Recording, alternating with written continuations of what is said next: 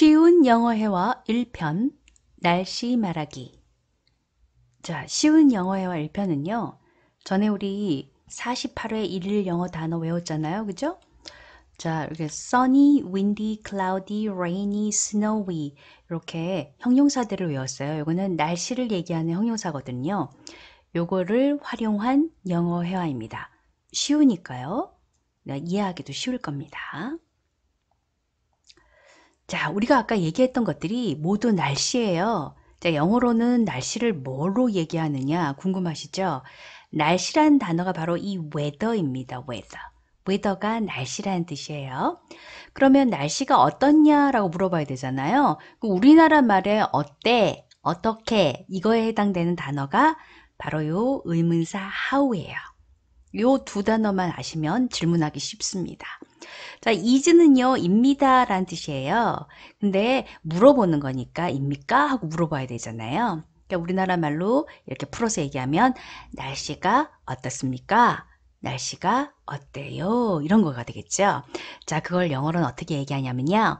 How is the weather? 라고 하면 됩니다.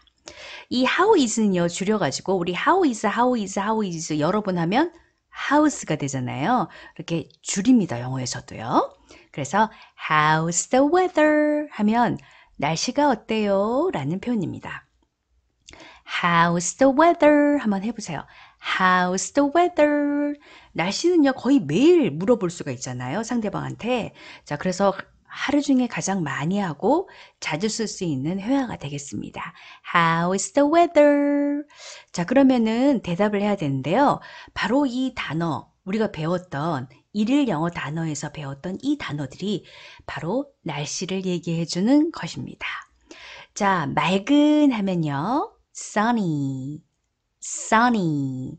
바람 부는 하면 windy, windy. 흐린 하면 cloudy, cloudy. 비 오는 rainy, rainy.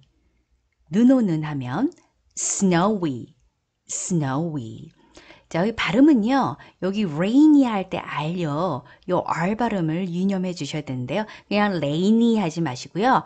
R이 혓바닥에 말려서 올라가요. 뒤로 꼴딱 삼켜질 정도로요. rainy가 됩니다. 그렇게 하면 버터 발음이 됩니다. cloudy의 이 L 발음은요. 천정에 닿는 L이에요. 그래서 cloudy, cloudy 이렇게 발음하시면 됩니다. 자, 발음은 다른 거는 뭐 유념할 게 없고요. 자로 이 바로 이 그 날씨를 얘기해 주는 형용사 제가 다섯 개 올렸잖아요. 자, 요거를 이제 날씨가 어떻다라고 말할 때 활용이 가능합니다. 그래서 제가 오늘 동영상을 만들었고요. 요 단어들의 비밀을 제가 하나 얘기해 드릴게요. 요 단어들은요. 어떤 명사에다가 y만 붙여서 형용사를 만든 거예요. 날씨를 얘기해 주는. 그러니까 얘네들은 되게 단순합니다. 그냥 명사 선 태양이잖아요. 태양. 태양에다가 n을 붙여가지고 맑은 태양이 비치는 이런 단어를 만든 거예요. 여기는 n 하나를 겹쳤죠. 그죠? 자, 요거는 나중에 모음과 자음 때문에 일어난 일인데 요거는 나중에 한번 더 강의를 해 드릴게요. 자, 그리고 바람, wind이라고 하는 건 바람이란 명사예요. y만 붙여서 바람 부는이 된 거예요. cloud가요. 바로 구름이란 뜻입니다. 근데 y만 붙여서 어떻게 됐다? 구름 낀, 흐린이 됩니다.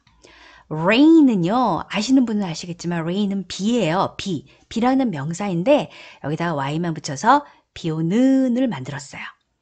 snow는요, 눈치채셨다시피 바로 눈이란 뜻입니다. snow. 근데 거기에 y만 붙여서 눈 오는을 만든 거예요. 되게 단순하게 만들었죠. 그죠?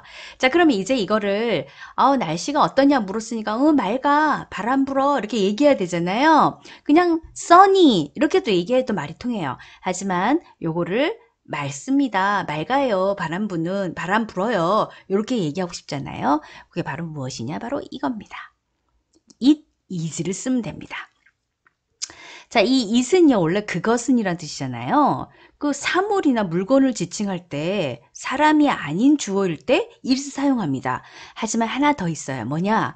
바로 이렇게 날씨 같은 것들은요, 주어를 얘기할 수 없잖아요. 우리 영어는요, 주인공, 주어가 있어야지 말을 할 수 있는 바로 언어예요. 근데 날씨는 주인공이 없어요. 사람도 아니잖아요. 그럴 때는 무조건 가짜 주어인 it을 사용합니다. 마치 생물처럼 이제 얘네들을 가짜 주어로 세워주는 거죠. 그래서 it is, is는 뭐뭐입니다 라는 뜻인 거 알고 계시죠? 자, 그것은 날씨가 맑습니다 라면 it is를 써가지고 sunny까지 같이 덧붙이면 됩니다. 그러면 날씨가 맑아 하면 어떻게 된다고요? 자, 예, it is sun인데요. 자, it is, it is 여러 번 하니까 어떻게 되나요? 이것도 줄임말이 되죠. 이렇게 it's가 됩니다. 더 간단하죠. 그러면 it's sunny 맑아 바람 불어 하면요.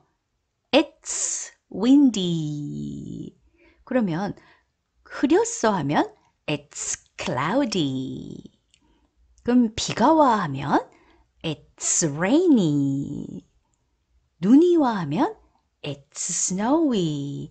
너무 간단한 회화잖아요. 그죠? How is the weather? 하고 물어보면 오늘 눈 와? 하면 It's snowy 하시면 됩니다요. 너무 간단하죠. 그죠? 자, it를 붙여서 날씨를 얘기해 준다. 우리가 배웠던 이를 영어 단어를 이용하셔서 it와 함께 사용하면 간단한 회화가 됩니다. 자, 다시 한번 해볼게요. 맑은 하면 뭐라고요? It's sunny. 자, 바람이 부는 하면 It's windy. 자, 흐렸어 하면 It's cloudy. 비와 하면 It's rainy.